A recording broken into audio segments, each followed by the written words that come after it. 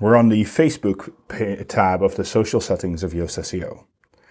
The Facebook settings are slightly weird because the Facebook settings actually affect a lot more than just Facebook.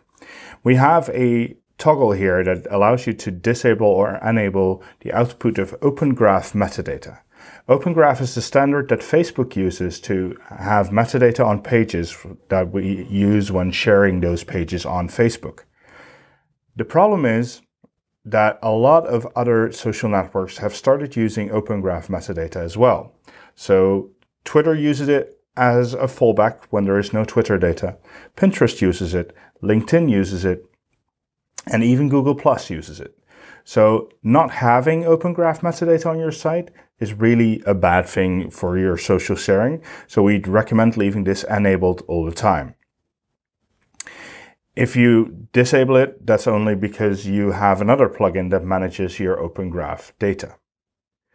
Below that, there are a couple of things that you can do to uh, determine what your homepage will look like when shared on Facebook. So you can set the image URL, the title, and the description. Um, this is basically only for your front page and not for any other pages. So if you have a static front page, this will actually not exist because you can then manage it on the settings for that static front page. Lastly, we have default image.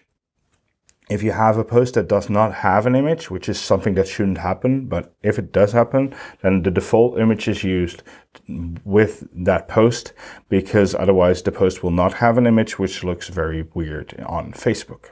That's it.